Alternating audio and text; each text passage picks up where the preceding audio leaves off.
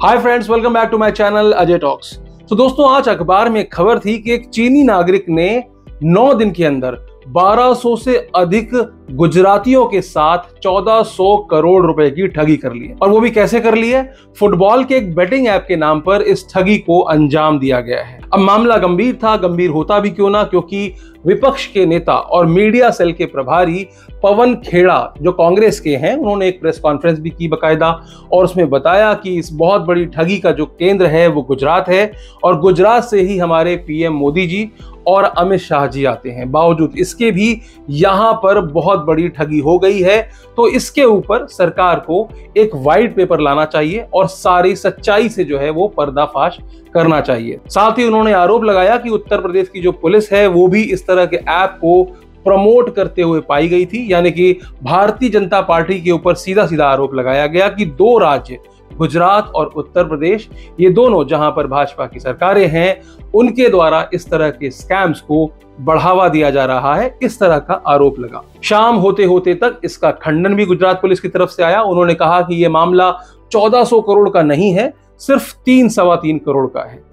तो क्या है पूरी खबर? इसके बारे में तफ्तीश से जानते हैं। सबसे पहले समझते हैं कि जो खबर अखबार में छपी थी वो क्या थी? उसके बाद हम जानेंगे कि गुजरात पुलिस के द्वारा क्या कहा गया और उसके बाद फिर मेरा विश्लेषण, जैसा कि मैं आमतौर पर करता हूँ। तो प्रेस कॉन्फ्रेंस और अखबारों की खबर के मुताबिक एक बहुत बड़ा स्कैम, जो कि एक साल पुराना स्कैम है एक साल पहले एक बेटिंग ऐप आई थी, जो लोग नहीं जानते हैं, मैं बता देना चाहता हूँ कि तमाम बड़े बड़े ब्रांड्स के नाम पर और या फिर इस तरह के नए नाम पर भी, जैसे कि इसका नाम आया, दानी डेटा, या फिर जीवी फुटबॉल, या फिर लकी बॉल, इस तरह के जो नाम जो कि किसी ब्रांड से जुड़े हुए नहीं है, किसी खेल से संबंधित नज़र आते हैं तो उस तरह के नाम के साथ में एक ऐप लाई जाती है एप्लीकेशन लाई जाती है, उसमें लोगों को जोड़ा जाता है हाई बोनस दिया जाता है और इस तरह से प्रमोट किया जाता है कि अगर आप अपने मित्रों को इससे जोड़ेंगे तो भी आपको बोनस मिलेगा। और साथ ही क्या है, उसके अंदर बहुत सारे गेम्स चल रहे होते हैं, यानी कि फुटबॉल का गेम हो, चाहे क्रिकेट का गेम हो, चाहे कोई भी इस तरह का गेम हो, वो गेम चल रहे होते हैं। और अगर आप उन पर बैटिंग करेंगे तो आपको एक बहुत ज़्यादा बड़ा मुनाफा मिलने वाला है। तो इस तरह के बड़े मुनाफे के लालच में लोग पैसे लगाते चले जाते हैं। शुरुआत में सबको मुनाफा होता भी है, क्योंकि छोटे छोटे अमाउंट्स का इन्वेस्टमेंट जब आप करते हैं तो आपको उसका एक बड़ा मुनाफा दिखाया जाता है और दिया भी जाता है। मैंने अपने पिछले तमाम वीडियोस में बताया है कि इस तरह की तमाम बैटिंग एप्स मार्केट में चल रही हैं, जो पूरी तरह से इलीगल है। इनका कोई आधार नहीं है, कोई बेस नहीं है। ना तो खेल ही रियल टाइम में चल रहा है और ना ही ये यहाँ पर रजिस्टर है। आमतौर पर इस तरह की जो एप्स होती हैं, वो दो से तीन महीने, चार महीने, छह महीने तक चलती हैं और उसके बाद एक ट्रस्ट गेन करने के बाद जब आप बड़े बड़े अमाउंट्स इसमें इन्वेस्ट करने लग जाते हो तो इस तरह की एप्स अपना बुरिया बिस्तर समेट कर भाग जाती हैं और आपको हो जाता है लाखों करोड़ों का नुकसान। तो आप खबर पे लौटते हैं। खबर ये थी कि एक चीनी नागरिक वू युआनबे ने 2022 में भारत में नौ दिन की यात्रा की और उस यात्रा के दौरान वो गुजरात गया। गुजरात में बानसकाठा और पाटन इलाके में उसने बहुत सारे लोगों से मेल मुलाकातें की, उसके बाद एक ऐप लॉन्च की और उस ऐप के ज़रिए उसने लोगों को अपना शिकार बनाया। बताया जा रहा है कि गुजरात के 1200 से अधिक लोग उस ऐप से जुड़े हुए थे और लगभग 1400 करोड़ से अधिक का जो है इन्वेस्टमेंट उसमें था जब वो ऐप भागी, यानी कि जो टोटल नुकसान था, वो 1400 करोड़ से ज़्यादा था। हालाँकि अखबारों में ये भी है कि ये ऐप सिर्फ़ गुजरात में ही नहीं थी उत्तर प्रदेश में भी इस तरह की ऐप में लोगों का इन्वेस्टमेंट था।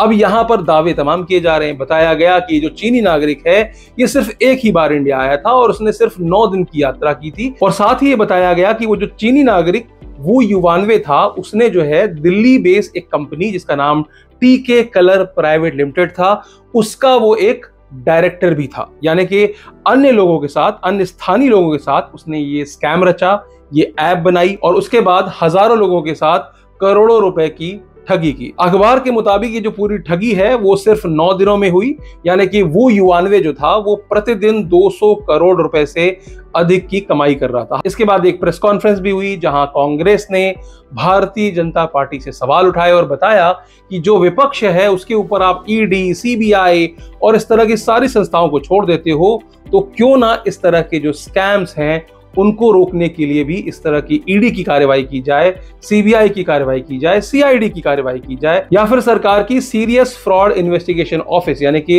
एसएफआईओ द्वारा इस तरह के मामले की जाँच करनी चाहिए और बड़े लेवल पर इसको उजागर करना चाहिए। सरकार को इसका सच भी सामने लाना चाहिए कि ये जो पूरा स्कैम है, ये किस तरह से सामने आया अब तक क्या कार्रवाई हुई? तो अखबार के हिसाब से अब तक गुजरात पुलिस ने इससे संबंधित 10 लोगों की गिरफ्तारी कर ली है और साथ में ही रेड कॉर्नर नोटिस उसके खिलाफ, उस चाइनीज़ नागरिक के खिलाफ में जारी कर दिया गया है। लेकिन पर्याप्त सबूत न होने की वजह से किसी भी तरह के प्रत्यर्पण की बात यहाँ पर नहीं हो पा रही है।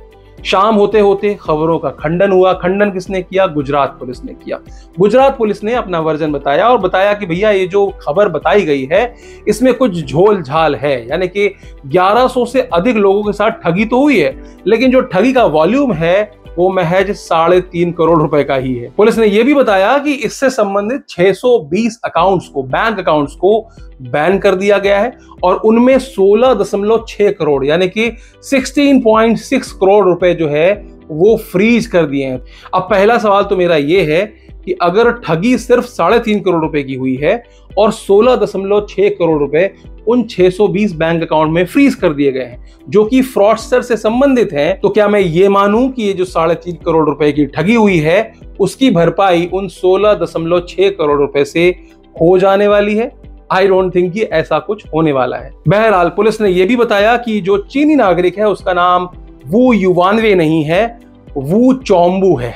तो वो चौम्बू जो है, वो इंडिया में 2017 से 2019 के बीच में रहा है, उसके बाद वो कभी भारत लौटकर नहीं आया। तो मास्टरमाइंड जो है, वो वो युवानवे जो कि अखबार में छपा था, वो नहीं है। वो चौम्बू है, जिसका नाम पुलिस ने अपनी प्रेस विज्ञप्ति में दिया है कि भैया ये व्यक्ति था जिसके खिलाफ लुकआउट नोटिस भी जारी कर दिया है। यानी कि वो चीनी नागरिक दो साल तक भारत में था। कब? 2017 से 2019 तक। तो दो अलग अलग वर्जन है। अब सच्चाई कुछ भी हो सकती है।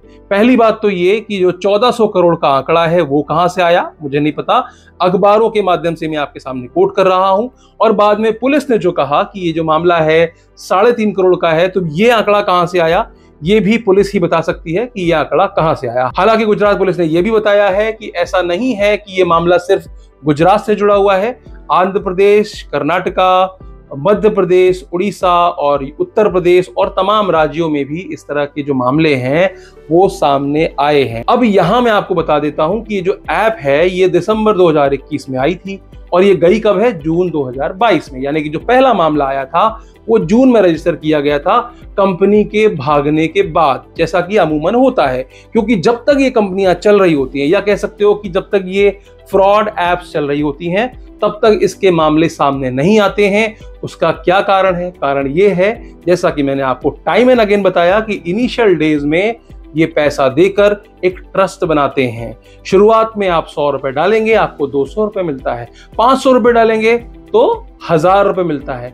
ये क्यों करते हैं ये लोग? ये इसलिए करते हैं ताकि आपको इस जाल में फंसाया जा सके और जब आप मोटा पैसा फंसाने लग जाए और ये आपको फोर्स भी करते हैं, क्योंकि एक समय के बाद अगर आप इसमें इन्वेस्ट करना बंद कर दें तो ये आपका अकाउंट बंद भी कर देते हैं। ऐसे तमाम मामले सामने आए हैं, जिसमें इस तरह की रिपोर्टिंग की गई है कि सर, मेरा अकाउंट पहले ही ब्लॉक कर दिया गया। क्यों कर दिया गया?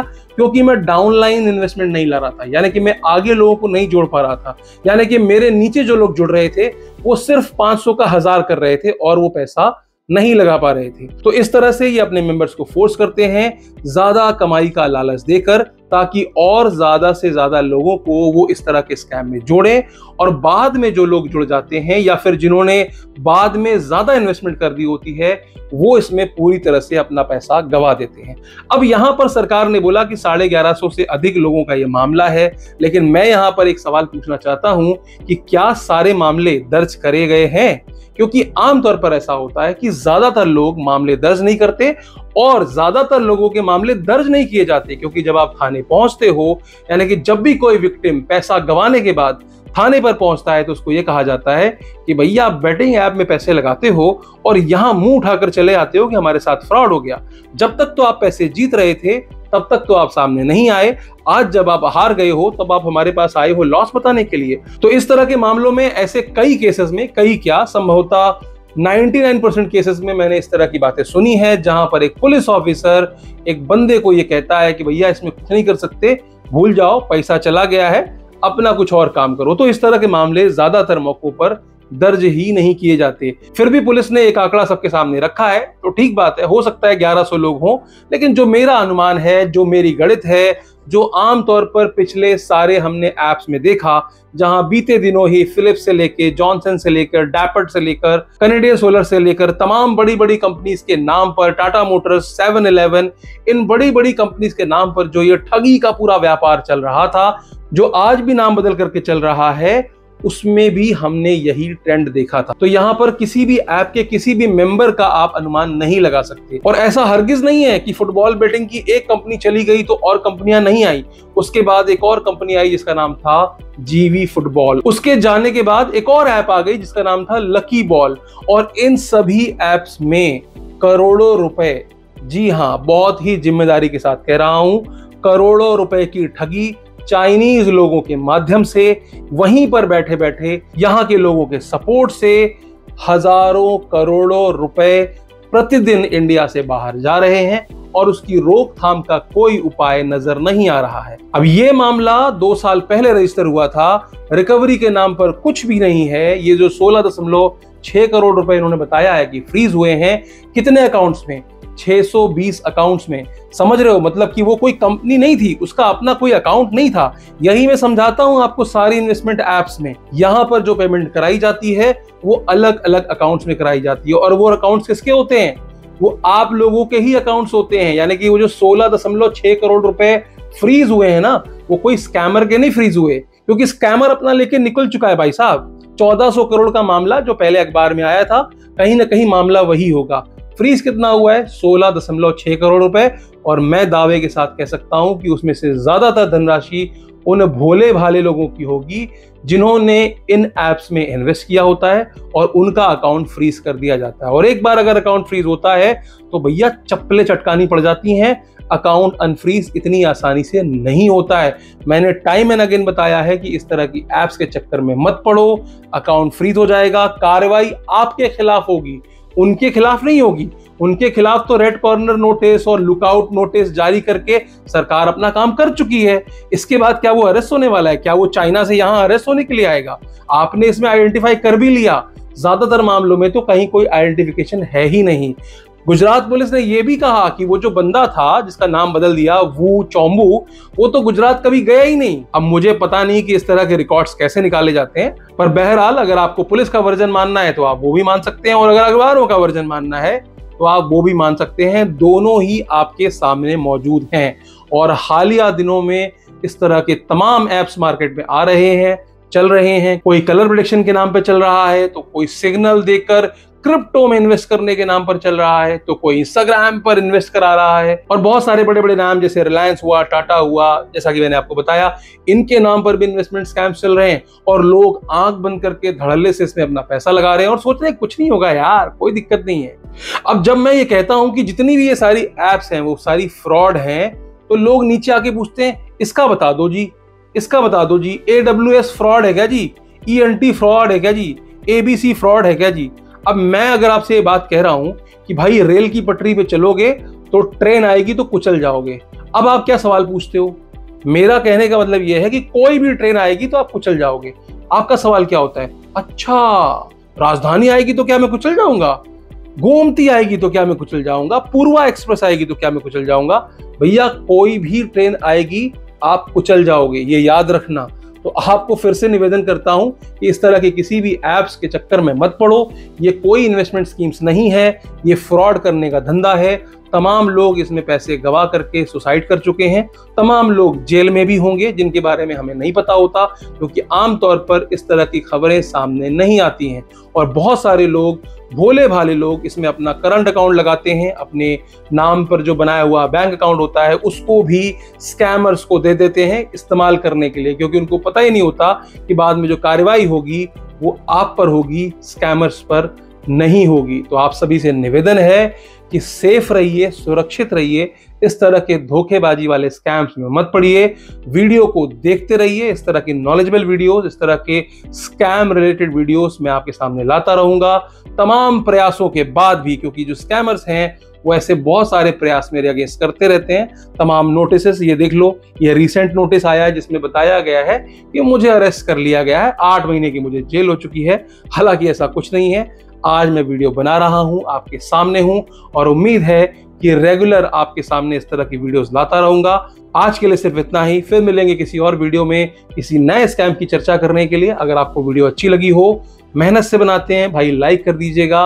और दोस्तों और रिश्तेदारों को अवेयर करना चाहते हैं इस तरह के स्कैम्स के अगेंस्ट तो इस वीडियो को ज़्यादा से ज़्यादा संख्या में शेयर ज़रूर किया कीजिए। वीडियो में अंत तक बने रहने के लिए आपका बहुत बहुत शुक्रिया।